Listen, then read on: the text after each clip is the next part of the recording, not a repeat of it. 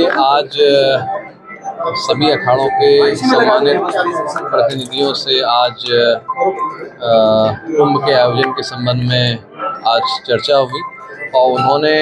अपनी जिज्ञासाएँ हमारे सामने रखी और उनकी कुछ जिज्ञासाएँ क्षेत्रफल के विषय में किस प्रकार आयोजन होगा, किस प्रकार ज़मीन बटेगी और सुविधाएँ किस प्रकार मिलेंगी उसके बारे में और कैसे सभी आम श्रद्धालुओं के लिए मेला जो है एक अच्छा अनुभव हो। उसके बारे में अपनी बातें रखी, अपना हमारा सबका मार्गदर्शन करा। और उन्होंने ये भी चाहा कि एक कुछ ऐसा मैकेनिज़्म बन जाए, एक ऐसी प्रणाली बन जाए जिससे हम सतत उनसे संवाद बनाए रखें।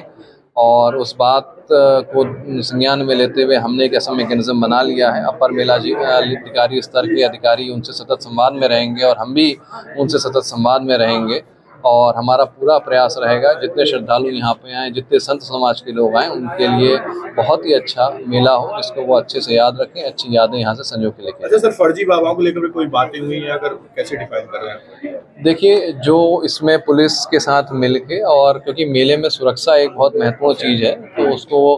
पुलिस के साथ मिलके और सभी संत समाज के साथ सौहार्दपूर्ण माहौल में जो भी इसमें एक डिसीज़न लिया जाएगा उस पर फिर अग्रतर कार्रवाई की जाएगी। एक तो उनकी तरफ़ से मांग की गई है कि कुंभ मेला क्षेत्र में तीन किलोमीटर के दायरे में मांस मदिरा का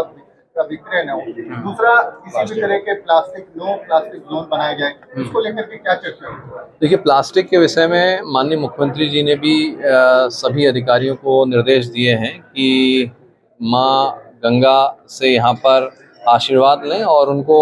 यहाँ पर उनका धन्यवाद ज्ञापित करके जाएँ। किसी भी तरह से प्लास्टिक से उनको दूषित ना करें। तो उसकी हमने एक